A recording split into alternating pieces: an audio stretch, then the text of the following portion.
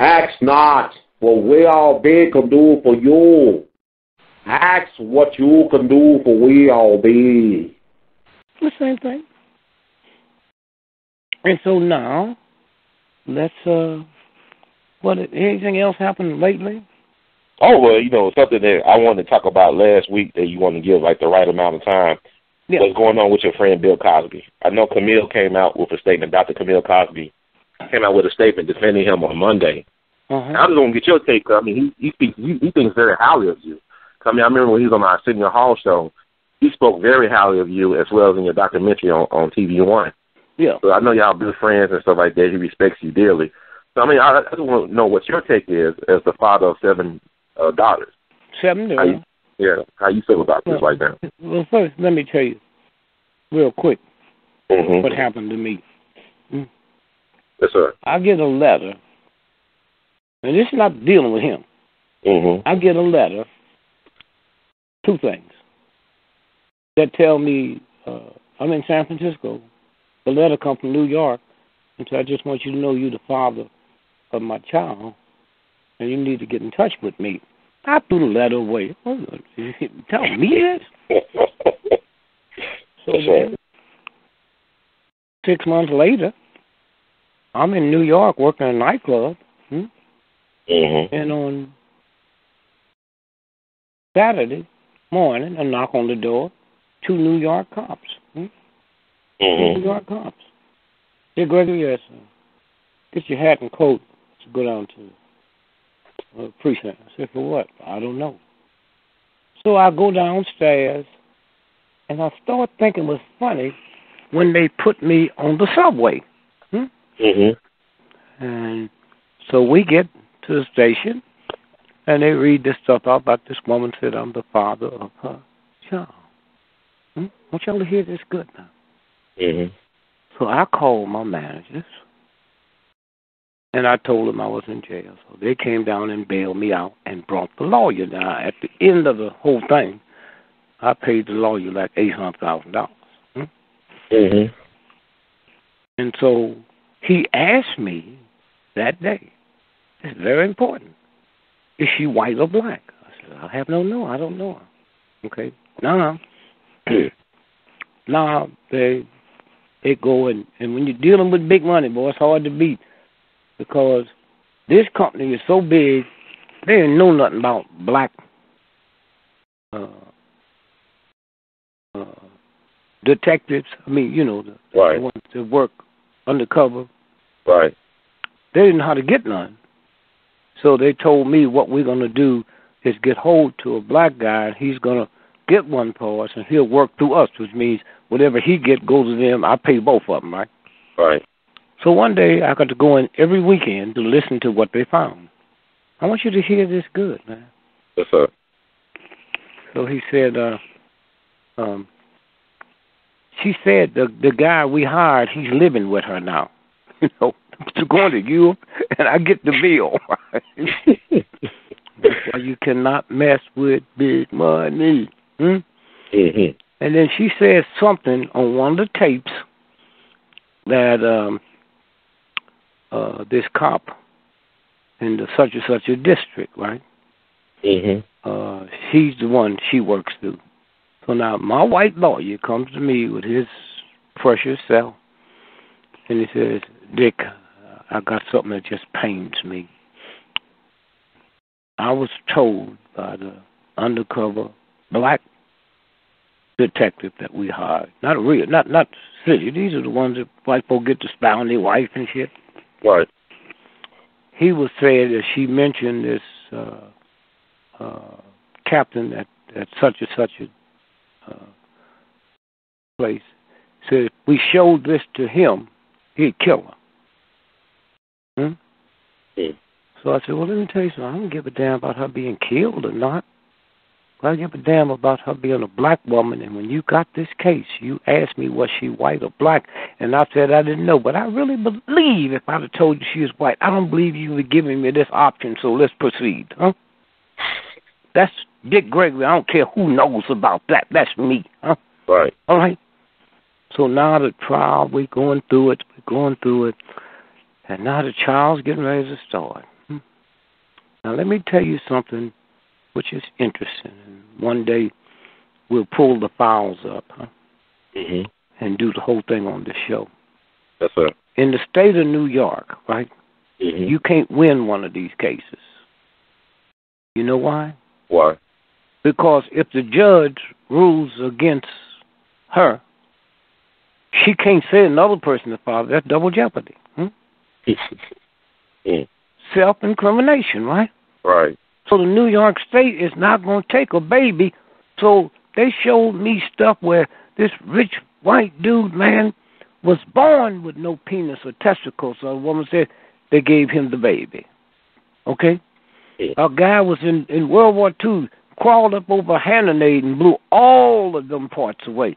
They gave him the baby. You know why? Why? Because if the New York State said, I'm not the father, and they can't blame it nobody if the New York State got to take care of this child, and we ain't talking about welfare. That's why nobody ever won it. I said, well, Yeah. maybe I have to go to jail or whatever y'all do. But I'm not, I'm not saying. So then we start finding out they do all of them like that. They got the the, the mob ran it. They had a mob where they did nothing with white celebrities. They got one they do nothing with black celebrities, from Frank Sinatra to to Sammy Davis, uh, and they pay out of court. They pay, man. Yeah.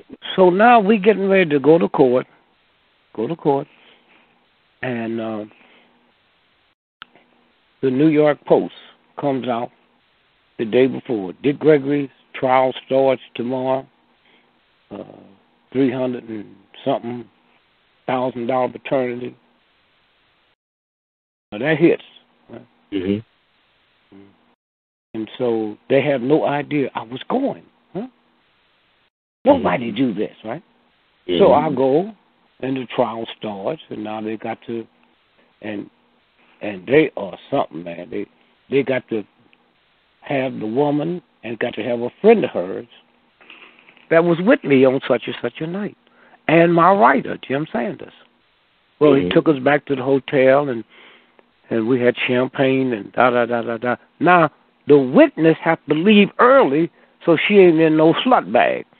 So she said, Well, I was in Jim Sanders' suite and uh I left and I came by to knock on the door to say goodbye to my friend. And so I went home because I had to get my children ready for school. And so I woke up at 7 o'clock. Listen to this now when the God force moves in. And then this not happened, y'all wouldn't have heard of Dick Gregory because I'd have been somewhere for the rest of my life. Hmm? Not paying this, not none of this, huh? And so she said, uh, so now he's interviewing her. This about Mhm. will tell you what's happened with the Cosby thing. Mm-hmm. Right. If he did it or not, I don't know. That's a police job, huh? Right. I'm looking at what they're telling me. Now watch this now.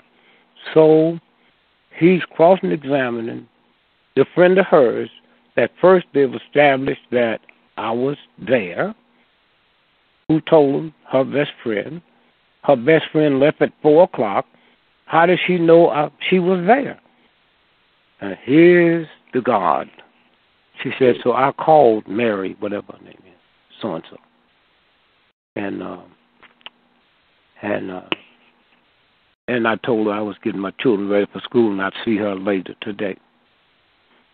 Uh I touched my lawyer and I said, Did you just hear that? He didn't. You cannot call a person who's registered in a hotel and ask for another name and they ring the room. How that universal God for work? Oh, yeah, that's beautiful. Yes. Then when he got up there, whew, man, I realized why I had to pay him so much money.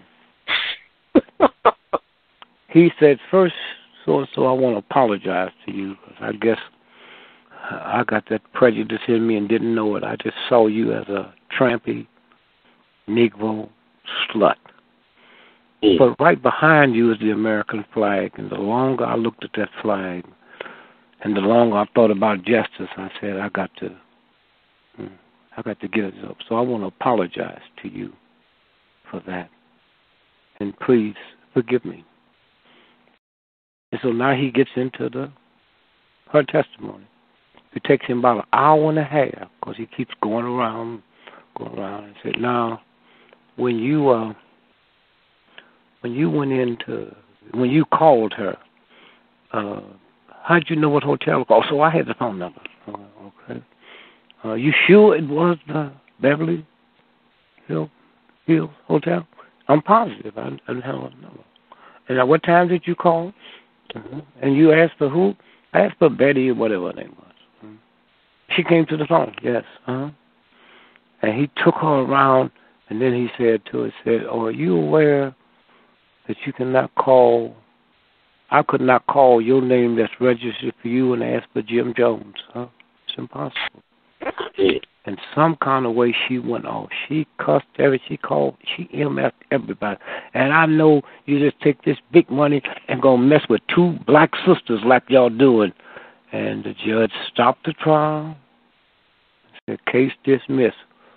History. I'm the only person in the history of New York that beat one of them cases.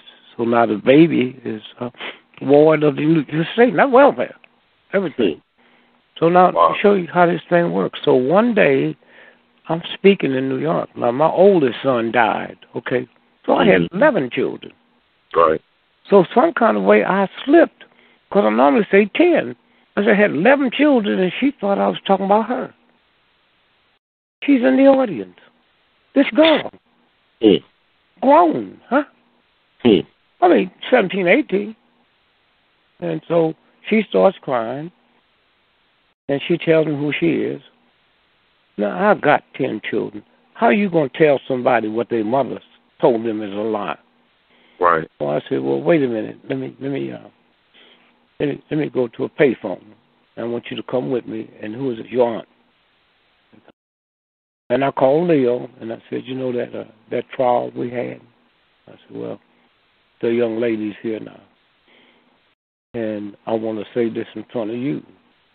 I said, well, this summer when school's out, why don't you come down on the farm and mm-hmm. visit your brothers and sisters? And so here's the number.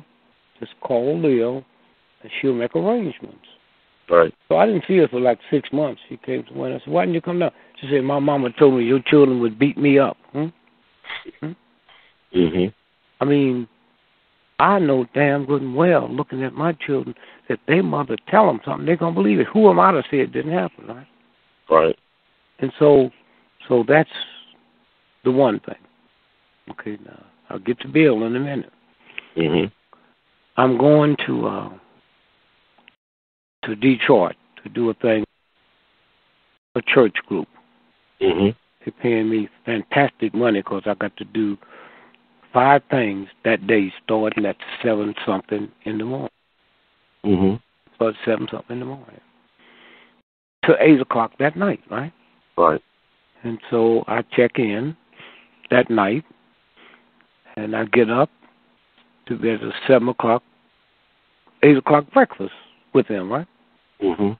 So I go, and um, I get I get dressed, so now we're gonna be out all day. It's so hot in Detroit. I am drenching wet, but I haven't got time because we go right straight through. And then right. the God came for him and said, Mr. Gregory, we didn't want to say this, but we don't have anything to do now until the eight o'clock dinner. So we can either take you to a vegetarian restaurant or take you back to the hotel. I said, Oh, take me back to the hotel. So I go back to the hotel, take my clothes off, soaking wet, my suit, take a shower, open up the door, and I see a pair of women's panties and women's shoes. Hear me now. I don't know if they was there. I don't know if the maid left them there. Hmm? Mm-hmm. So I put my robe on and I called downstairs and I said, "Would you send a, a manager up and a house detective? I need to report something." Well, they jump quick because they don't want their hotel getting no bad name about nothing, right? Mm-hmm. So they come up and I tell them what happened, and I said I don't know if uh, they was here when I came in last night. They was here when I left this morning, but I said I can't afford not to have this go on record. Huh? So then the brother told me He said, just a minute. He had a little thing over his arm like a woman's purse. And he said, let me put the key in here. He said, every time a key go in here, it gets recorded. Hmm? Cool. And I can look. You came in what time? I said, so he said the time. So yeah, you came in at eleven fifty. You got you left here at seven forty. The maid came in at twelve ten. Oh, here it is. Here, here's here's it. No, somebody came in here, and it wasn't us. Let's see, we got the key here. This is not one of our keys. Somebody did come in here. Mm. So then I said, okay, then you need to call the the uh, Detroit police. He said, oh, we can, no, no, no. So Detroit police came in, and I told him to write this down, have this down. Now, assuming I hadn't came back, you know, Right. I would went from there to the dinner or the lunch, right? Mm Mhm. I come back that night after I finish. I go to bed. At two o'clock in the morning, cops knocking on my door, right? And they got this white woman, huh? And she crying, all beat up. And she says, uh, uh, he did this, and and, and I, I ran out, and I left my shoes and my panties here. Hmm? Anytime something happens at four o'clock in the morning and you looking at it the seven o'clock news, you know how hard it is to get a camera at that time of morning. Cool. So you all wake up today and you got this white woman crying, saying, I didn't rape her. See, we've been lovers for 15 years, okay? And I told him I was married, and he said, Well, I just want some cocaine. And I came by, and then after we shared the cocaine, I told him I had to get home. Then he grabbed me and tried to have sex with me, and uh, and uh, I ran out and left my shoes. I put them in the closet when I came in. And so now I get out of jail that morning, and the whole world done heard we've been lovers for 15 years. Mm. So I get out, hmm? Mhm. and the cameras is there. I say, Mr. Gregory, uh, you got anything to say? I said, I don't, I don't know who. I don't even know what this is about. I don't even know who she is. Right? Now Mhm. I told the world that, right? She Right. said we've been lovers for 15 years. Now put a pin there and let me show you how this works. Five years ago, this is myth. This is myth. Five years ago, I was in Kansas City. This is. Hmm? Mhm. And when I get through, a white dude walks up to me and said, God, I've never heard nothing like this in my life. Jesus, what a. Said, let me tell you who I am. I have 50 companies, and I'm about to lose my federal contracts because the woman thing is coming through, and I don't know how to deal with it. But you just told me it's too late tonight, but can I come by in the morning? We have breakfast. I need you, and I need you to give me a price of how much it costs for you to come to my 50 companies. So I go to bed. Next day, I'm up, running. I go down. Anytime you go into a restaurant, you know how you can wait to be seated, you can sit at the bar. Right. Never sit at the bar. You know why? Why? You're not responsible for who you sitting next to. Mm. So me and him sitting there, and we talking. He said, "Oh, my son's fixing to get married. I forgot the date. Let me run to the car and get my briefcase." So when he leaves, this is Miss now. A white woman says, "Dick Gregory, oh, do my father, oh, do my father, oh, can I hug you?" And she hugged and kissed. Click, click, click, click, click, click, click. Hmm? Mm. Now I've told the whole world I never met her, I don't know her, and they come up with this picture from 15 years ago, or five Wow. years. Hmm? Now what do you all think of me? See, so you can't ask about him because I know too much about what goes down. For Right. instance, let's say you are the top.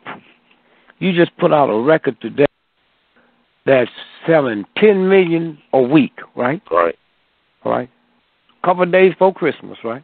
Mhm. So you got a big royalty check coming, right? You're gonna have a Christmas. So two weeks ago, I filed charges against you, not as Dick Gregory, huh? Mhm. And said I wrote that song. Huh? Mhm. No, they don't know or not. So now we go to court. You know what happens? What happened? The federal judge freeze all your money. Now you ain't never had no money. You one of the richest cats in the movie industry, and you don't have a quarter for Christmas, right? hmm So you make a deal. You settle out of court. Hmm? Right. This is a scam they've been doing. Now I'm not saying this about these ladies. I'm saying what goes on out here. So now here's what I question. hmm Bill Cosby was getting ready to buy NBC. He had Right. the money and the pull. Hmm? hmm White supremacy said no black person will ever own the network. Hmm? Right. So his son comes up dead hmm in California. He's driving on the highway. Gets a flat. They say it's robbery. Who gonna rob somebody on the highway with a car doing 80, 70, 80 a month? Huh? Right. So they say he pulls off the highway and calls this woman friend of his, right? hmm She shows up in high heel shoes, miniskirt, and uh and a mink coat, right? hmm The high help him change the tire. What they didn't know, this Mercedes had the technology. You got a flat, you push the button, and it changed its own tire. Hmm? hmm Now ask a question. How is it Bill Cosby's son was killed and he can't do no Jello commercials no more? Hmm. Is that is that mean, man? Hmm. He can't do no more Jello commercials. I mean, think about that, huh? hmm That is that is really out of your mind, right? Right. Okay, so now no NBC. Hmm?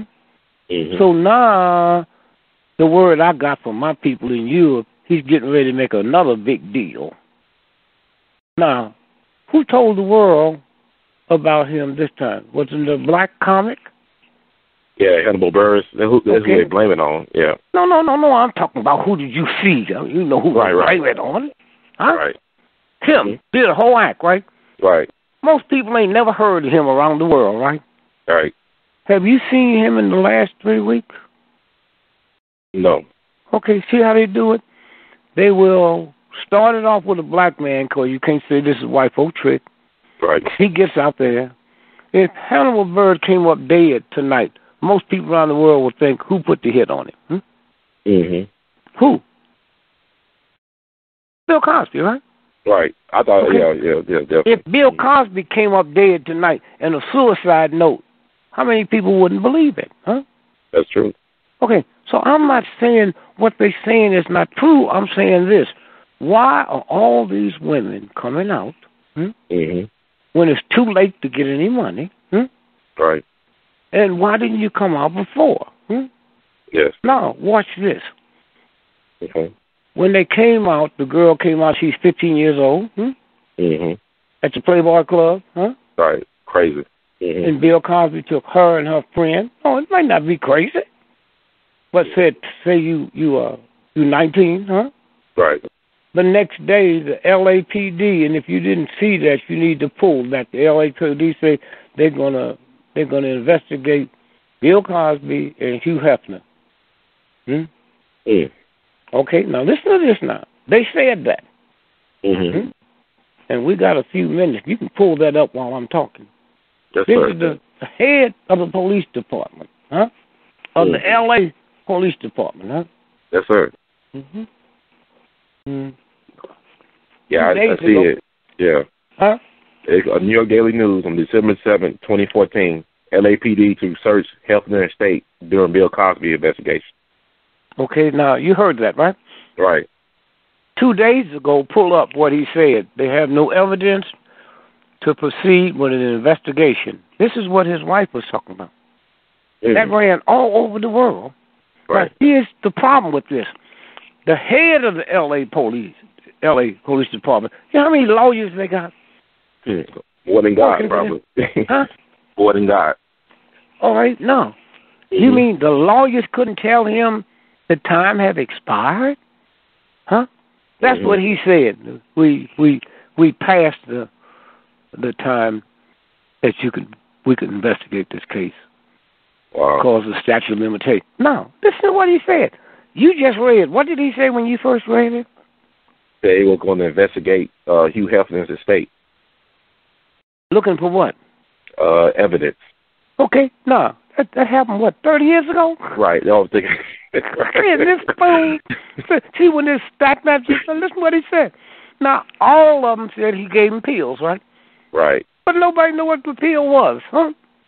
But Yeah. most of them said he didn't have nothing to do. How do you know if you're unconscious, huh? How do That's you know if you're unconscious, huh? That's you know what, and that's a good question that Whoopi Goldberg raised towards Beverly Johnson on the show uh, Yeah. about you know wh- were you concerned about the type of drug it was? Why weren't you concerned about the type of drug? Why didn't Well, you you go to the hospital? said, didn't you? Right. I think I've, you. I've had I've had every type of drug you can have. Thank you. I'm glad you said it. But you know, also I want to ask you this as well. wait, I I- wait, wait, wait, no, this is important. Oh, yes, sir. I knew something was happening to me. She said I had every kind of drug and called him an MF on the front page of the of the New the Vanity York, Fair. huh?